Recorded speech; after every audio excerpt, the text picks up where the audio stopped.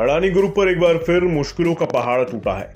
फिर एक बार विदेशी एजेंसी ने गंभीर आरोप लगाए हैं। ये रिपोर्ट ओसीसीआरपी ने अडानी ग्रुप पर जारी की है। सुबह ये रिपोर्ट आई थी। रिपोर्ट के पब्लिक होते ही अडानी के शेयरों में बिकवाली का नया दौर शुरू हो गया। अडानी ग्रुप की सभी 10 लिस्टेड कंपनियों में गिरावट का माहौल रहा। सबसे ज़्यादा गिरावट ग्रुप की फ्लैगशिप कंपनी अडानी इंटरप्राइजेज में देखने को मिली। अडानी इंटरप्राइजेज अंबुजा सीमेंट, पौने चार फ़ीसदी टूटे। अडानी ग्रीन एनर्जी और अडानी पोर्ट में साढ़े तीन फ़ीसदी की गिरावट देखने को मिली। वहीं अडानी ट्रांसमिशन, सवा तीन फ़ीसदी। अडानी पावर दो फ़ीसदी, अडानी टोटल में दो फ़ीसदी से ज़्यादा की गिरावट देखने को मिली। इसके अलावा अडानी विल्मर, पौने तीन फ़ीसदी, एसीसी सवा फ़ीसदी और एनडीटीवी दो फ़ीसदी से ज़्यादा गिरा। कोई ऐसा शेयर नहीं बचा जहाँ गिरावट का माहौल नहीं रहा। इस गिरावट से अडानी ग्रुप का मार्केट कैप एक दिन में पैंतीस हज़ार करोड़ रुपए कम हो गया। इस गिरावट के बाद अडानी ग्रुप का मार्केट कैप 11 लाख करोड़ के नीचे आ गया। पिछले हफ़्ते अडानी ग्रुप का मार्केट कैप 11 लाख करोड़ रुपए के पार पहुँच गया था। हालाँकि इंडियनबर्ग की रिपोर्ट से पहले अडानी ग्रुप का मार्केट कैप 19 लाख करोड़ रुपए के पार था। कुल मिलाकर कहा जा सकता है कि साल 2023 अडानी ग्रुप के लिए अच्छा नहीं रहा। इस साल अडानी ग्रुप ने बड़ी मुश्किलों का सामना किया है। ग्रुप पर बड़े गंभीर आरोप लगाए गए हैं।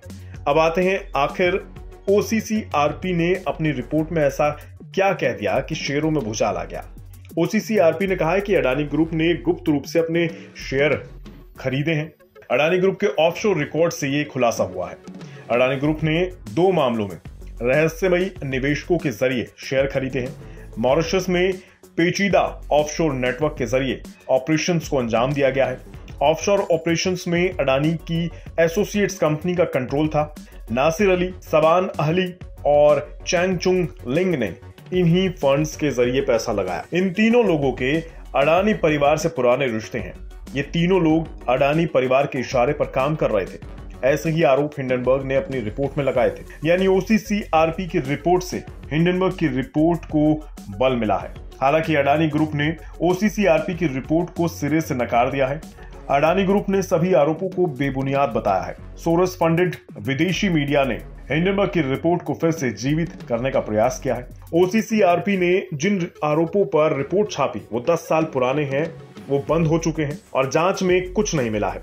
सेबी भी अडानी के खिलाफ इन आरोपों की जाँच कर रही है। सेबी ने 24 मामलों की जाँच की है, जिनमें से 22 मामलों में क्लीन चिट मिल चुकी है। दो ऐसे मामलों में, जिसमें सैबी को संबंधित जाँच एजेंसी की रिपोर्ट का इंतज़ार है। कुल मिलाकर, अडानी पर फिर से गंभीर आरोप लगे हैं। ये अभी आरोप हैं, जाँच का विषय है, लेकिन आरोप ने अडानी ग्रुप की मुश्किलें फिर से बढ़ा दी हैं। ये रिपोर्ट हमने आपकी जानकारी के लिए लिखी है। अगर आपको किसी शेयर में खरीदारी करनी है तो पहले अपने किसी निवेश सलाहकार से राय ज़रूर ले लें। अब बिस्तक के प्रीमियम मेंबर्स को मिलेगा एक और फ़ायदा। रोज सुबह 10 बजे। कमाई वाला ऑप्शन बिस्तर के कम्युनिटी पोस्ट पर तो हो जाइए तैयार, क्योंकि जो यहाँ है, वो कहीं और नहीं मिलेगा। और हाँ अगर आपने अभी तक ज्वाइन नहीं किया है तो ज्वाइन कीजिए यूट्यूब पर बिस्तक प्रीमियम मेंबरशिप